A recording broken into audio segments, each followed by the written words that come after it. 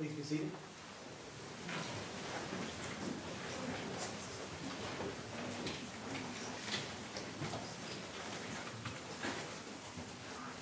Good afternoon.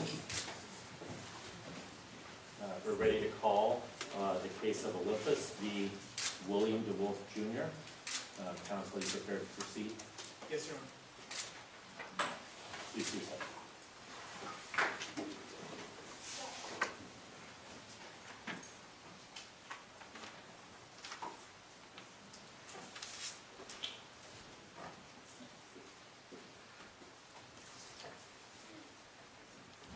Before beginning, petitioner would like to request three minutes for rebuttal. May it please the court. Your Honors, my name is Erik Baumann, and I, along with my co-counsel Ray Panneton, are representing the petitioner, the state of Olympus, in the case at bar. He will be arguing the Eighth and Fourteenth Amendment points, and I will be taking up the Fourth and Fourteenth Amendment points. My argument consists of three main points. First, that the vehicle in question in this case falls under the vehicle exception because it meets the two standards set aside by this court for that exception in California v. Carney. Secondly, that the Cyclops 237 is a legitimate technological device that can be used by police officers without a warrant because it meets the two standards set aside by this court for the use of such a device in in the United States.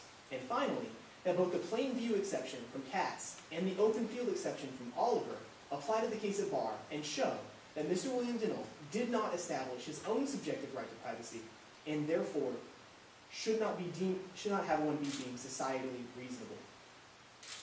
Unless your honors would like a brief resuscitation of the facts, I will begin with my case. Counsel, I actually have a question on. Um, Is mobility not a criteria for the of way exception? Yes, it is, Your Honor. And how exactly was this vehicle mobile? This vehicle was 900 feet into a wooded area, and it did have four flat tires. However, those tires could easily have been aired up, and the vehicle driven off of the premises. It would not have taken very long, in fact, much less time than it would have taken the police officers to obtain a warrant for Mr. DeNolf to move the vehicle off of the premises. Well, wasn't one of the other issues in the Carney case that uh, the vehicle should have been licensed? Yes, Your Honor. However, they were applying for registration, but I would like to put forward before this court that it doesn't take registration to drive a vehicle. People drive vehicles without proper registration tags all the time. It can still be readily mobile, and the evidence can still drive away whether or not the vehicle has registration. The vehicle in question does meet both of those standards because the tires could be aired up long before they could obtain a warrant. Now say, if DeNolf and his stepfather had taken the tires off the vehicle and put it up on cinder blocks, then it might be a residence. But because they did not do that, because the tires were simply flat, it does meet the standard for being readily mobile. It would be a bad precedent by this court to say that one who can simply drive their vehicle into the middle of a wooded area, flatten all the tires, and suddenly it has the Fourth Amendment protection of a residence. So, how long was the vehicle being observed? The vehicle was being observed for three months. And during those three months, was there any indication that there was any intent to make the vehicle mobile? There was not any indication that there was an attempt outside of them applying for registration tags, which does show intent that they did want to move it at some point. However, whether or not there was an intent to move it doesn't mean that the vehicle wasn't moved prior to it being observed, nor does it mean that it couldn't have moved at any moment during the observation process. My second point is that the Cyclops 237 is a justified technological device. This court ruled in Kyllo v. United States that there are two standards that show us whether or not a device can be used without a warrant. The first standard is that it's in general public use. The second is that it does not show the intimate details of residence. How would you define general public use? General public use in this court, as it was defined in the Kyllo case, is that the device must have public applicability. In Kyllo v. United States, the heat sensor was ruled unconstitutional because it was used on a residence and this court found that it only had applicability for military, law enforcement, and scientific. However, the crucial difference to make between Kyllo v. United States and the case at hand is that the Cyclops 237 has public applicability. It is used by bird watchers, it is available through magazines, and it would be used by them in wooded areas just like the one that Mr. Williams and was found. What are, the intimate details of a home that nonetheless cannot be observed. Absolutely, Your Honor. In Kyllo v. United States, this court ruled another reason that the heat sensor was unconstitutional was because it saw heat emanating through the walls. In other words, it saw something that the defendant in that case wished to not put in the public eye. However, in Katz v. United States, this court ruled that what one chooses to make available for the public to see is not under Fourth Amendment protection. Now, in Katz, that person chose not to allow anyone to listen to him by going into a phone booth and closing the door. The issue there was what was audible. The issue here, however, is what can be seen. And Mr. William DeNolf chose to leave the window of his motorhome wide open. In doing so, he falls under the plain view exception, which But- means But aren't the facts of the case that without reading the side Cyclops, it was actually not plainly able to be seen by, uh, someone just passing by? It could not be seen by someone just passing by, Your Honor. However, this court ruled in Oliver v. United States that in order for one to extend their curtilage of their property out to its full boundary, they have to build a fence around it. William DeNolf chose not to do that. Therefore, the open field exception from that case also applies. Consequently, an officer could simply have walked onto the property, walked up to the recreational vehicle, looked through the window, and seen and saw see exactly what she saw with the Cyclops 237. So if you tint the windows, you're okay. The window was open. I know. If you tint the windows and that can't be seen, the court has never ruled about window tint. But he did not put curtains in front of his window, which would have been a guarantee that nobody would have, would have been able to see If you put up blinds, if you pull on the cord so that the blinds tilt, and you can see partly inside, have you protected your subjective expectation of privacy? I'm not sure, Your Honor, and that would be a completely different case.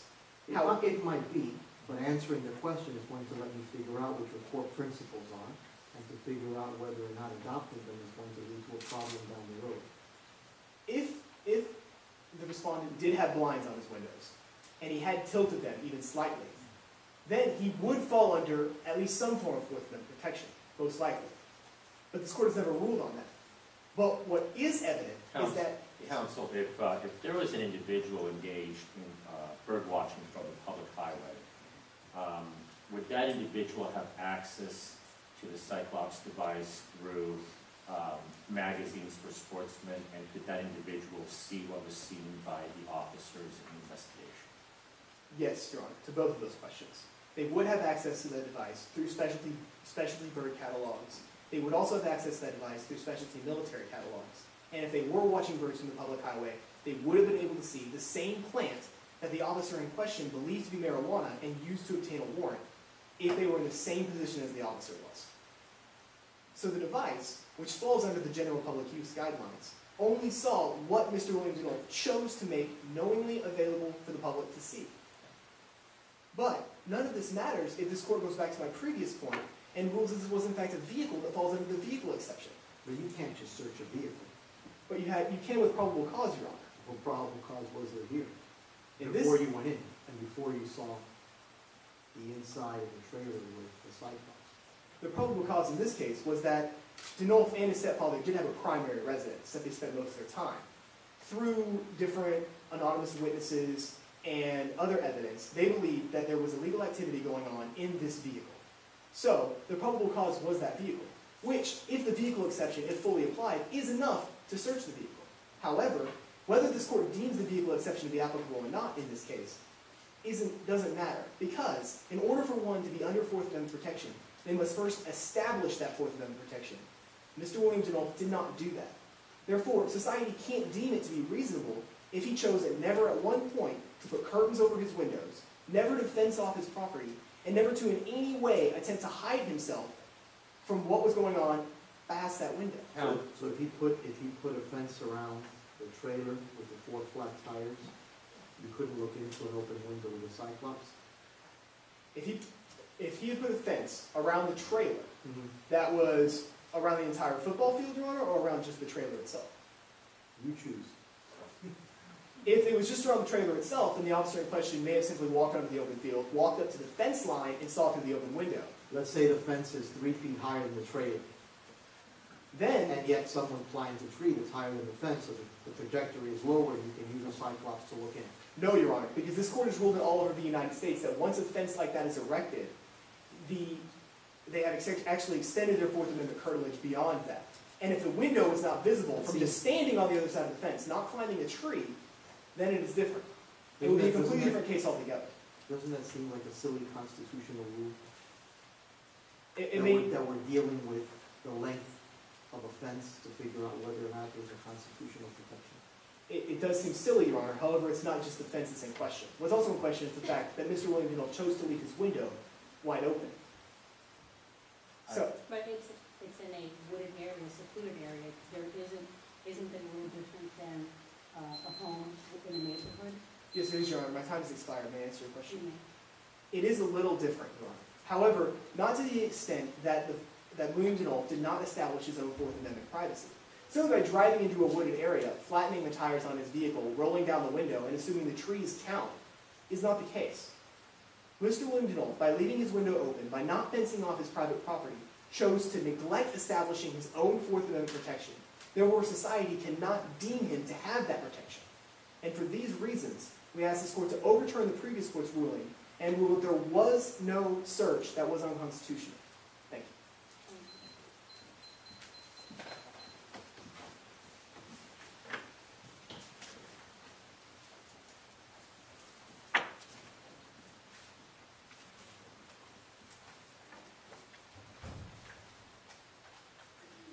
Mr. Chief Justice, Associate Justice of the Court, may it please the Court. My name is Ray Pans, and I'm here today on behalf of the petitioner of the State of Olympus in the case at bar. And I'm here today to demonstrate to this panel that the State of Olympus did not violate Mr. William Dindal's protection of the Eighth and Fourteenth Amendments protection against a punishment that is cruel and unusual, for two reasons. First, that Proposition 417 was a legally enacted law by the people of the State of Olympus, and this court has ruled states have the supreme discretion in determining punishment for offenders within their jurisdiction, as long as that punishment was, is within the bounds of the Constitution of the United States. And secondly, the way that Proposition 417 is crafted and applied in the case at bar, there is no constitutional violation. This court ruled in Ewing that, that states have the discretion of punishing the offenders within their jurisdiction within the bounds of the law. Proposition That 417, doesn't tell you much though. was that, That doesn't tell you much though, because the whole question is what are the bounds of the law? right? Well, the- So is there a proportionality requirement embodied in the Eighth Amendment?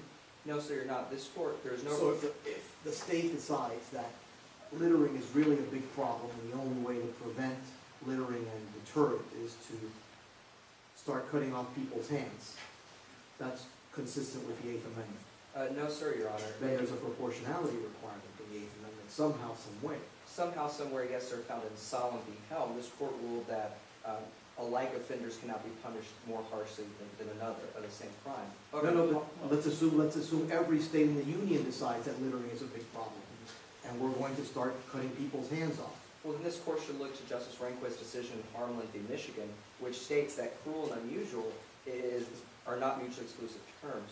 The punishment can be cruel as long as it's not unusual. Counsel, if I could, if, if I could just, uh, the, the, the question is, is there a proportionality requirement in the Constitution? No, so there is not a strict proportionality guarantee in the Constitution. At no point. We're going to start, we now decide that cutting people's hands off is not sufficient to stop the huge problem of littering. So we're gonna resort to capital punishment. Well, Your Honor, that's not an There's issue. no proportionality requirement? There's not a proportionality issue there so much as, as Justice Rehnquist defines in his majority opinion in Harmelin v. Michigan, that a punishment can be cruel as not, as long as the mode of punishment is not unusual. In the case, Think, think of the easiest possible way to put a human being to death, where no pain is involved. Is there a violation? absolutely, Your Honor, the mode of punishment in that case would, would define that punishment to be unconstitutional. No. Let's assume that you can give someone something that looks like a Tylenol pill. Mm-hmm. There's no pain, no torture, there's no asphyxiation. Two minutes after taking it, the person lapses into sleep and a minute later dies. You can give a person that pill to execute him or her for the offense of littering, and the Eighth Amendment will not be violated as long as every state in the Union sees it as a fit punishment. Well, that, that would be a violation of the evolving standard decency test. And furthermore, Why, then there's a proportionality requirement. there, there isn't a, there is not a strict proportionality requirement. Then tell me how that's a violation. Well, the violation exists in the fact that a capital punishment was handed down for a non-capital offense. This court has ruled that cap, Counsel, let, let, let's assume that it's not a capital punishment. Let's assume that you have a, an offender that has repeatedly violated, um, the law and been convicted of nonviolent offenses. And that individual is sentenced to life without parole or a series three, four, five of nonviolent offenses. Would that, would there be a proportionality requirement in that type of case? In the case that you just mentioned, Your Honor, no. Uh, this court ruled in Eddings that mitigating aggravating circumstances, such as, in this case at bar, age, would only need to be taken into consideration in capital offenses. And that is because this court has ruled that capital punishment is, is unique in its nature inasmuch as much as it's irrevocable. There is nothing irrevocable about the punishment that's being Well, in, in this situation, because uh, this court has indeed ruled that minors can no longer receive uh, the death penalty, is not life without parole the most severe punishment then that can be imposed upon a minor? Yes, ma'am, it is the most severe punishment that can be imposed upon a minor. However, Then, should we not look then at the proportionality requirement? Does the punishment fit the crime? Uh, no, Your Honor. When this court deemed that life in prison without the possibility of parole is an acceptable punishment for the crime of, for, for a minor, this court did not simply set aside that punishment for capital offenses. This court simply stated that that is an acceptable mean of punishing a minor, which is what the people of Olympus chose to do here. Counsel, let, let, let's assume that there is a proportionality requirement. How should we then, if, if we decide that there is a proportionality requirement, how should we analyze this case? If this court were to assume there's a proportionality requirement built into the, to the uh, Eighth Amendment of the Constitution, the state of Olympus still has a case due to the fact that the heinous nature of the act of aggravated rape as defined by Proposition 417. Mr. William Denolf brutally raped and sodomized a 15-year-old girl, and when the police found her, needed immediate medical attention. This is a very serious crime. Would, would your position be different if this were a, uh, a nonviolent crime that he had been charged with? If this were a non-violent crime that he received life in prison without the possibility of parole, Correct. It, it would, that would be a completely different situation, Your Honor, and that, the facts of that case would need to be analyzed closely. However, in the case at bar, we see Mr. Denolf was charged with aggravated rape of a fifteen-year-old, and it was a heinous act. And this popularly, popularly enacted piece of legislation defines the, the evolving standard of decency test. Currently, ten other states have laws on their books similar to this. The other forty do not speak out against this law, they simply have not enacted such. When, when you say similar to this, what is similar? Uh, they have no age restrictions on